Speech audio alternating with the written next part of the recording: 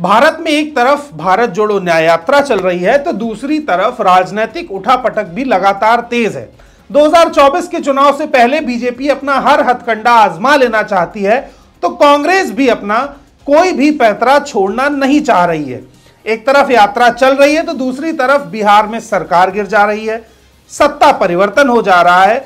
यात्रा झारखंड पहुँचे, उससे पहले ही झारखंड में सीएम की गिरफ्तारी हो जा रही है और नए सीएम को कुर्सी पर बिठाया जा रहा है।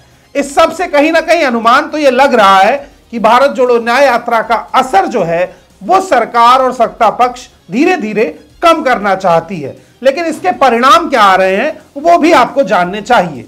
इधर राहुल गांधी के नेतृत्व में कांग्रेस की भारत जोड़ो न्याय यात्रा झारखंड में तीसरे दिन पाकुड़ पहुँची, जहाँ उमड़े जन सैलाब ने यह साफ़ कर दिया, भाजपा के गढ़ में इंडिया गठबंधन ने सेंधमारी की कहानी शुरू कर दी है। लेकिन इसके परिणाम क्या होंगे, ये आगे पता चलेगा। हेमंत सोरेन के इस्तीफे के बाद यह माना जा रहा था कि गठबंधन वहाँ कमज़ोर हो गया है। लेकिन झारखंड के नए मुख्यमंत्री बने चंपई सोरेन ने इस यात्रा और राहुल गांधी का स्वागत किया और भाजपा पर जमकर हमला बोला। उन्होंने जोरदार भाषण देते हुए कहा कि न्याय यात्रा मणिपुर से चलकर झारखंड पहुँची है और इस यात्रा में भाजपा के अन्याय को जड़ से खत्म करने की योजना बनी है। अब सवाल यह उठ रहा है कि आखिर ये अन्याय की लड़ाई किसके खिलाफ है? इस दौरान इंडिया गठबंधन की एकता झारखंड में मज़बूत दिखी, जब मंच पर एक साथ गठबंधन के दलों ने न्याय के हक में अपनी आवाज़ बुलंद की। याद रहे कि झारखंड भाजपा का गढ़ है और यहाँ पर 14 लोकसभा सीटों में से 12 सांसद भारतीय जनता पार्टी के हैं।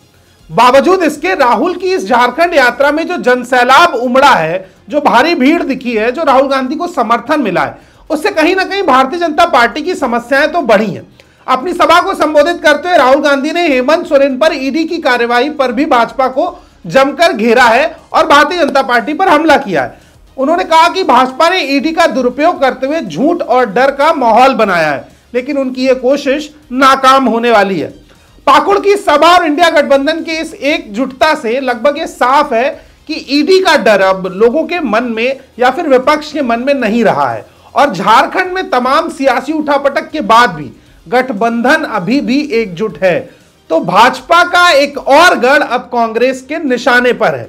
अगर झारखंड में कांग्रेस कामयाब होती है तो भाजपा की सीटें कम हो सकती हैं। अब सवाल यह है कि भाजपा के गढ़ में क्या कांग्रेस का इंडिया गठबंधन कोई जगह बना पाएगा?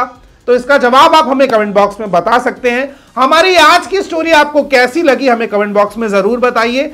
चैनल को सब्सक्राइब कीजिए, बेल आइकन को दबाइए ताकि आगे आने वाली तमाम अपडेट्स आपको मिलती रहे। तब तक के लिए धन्यवाद।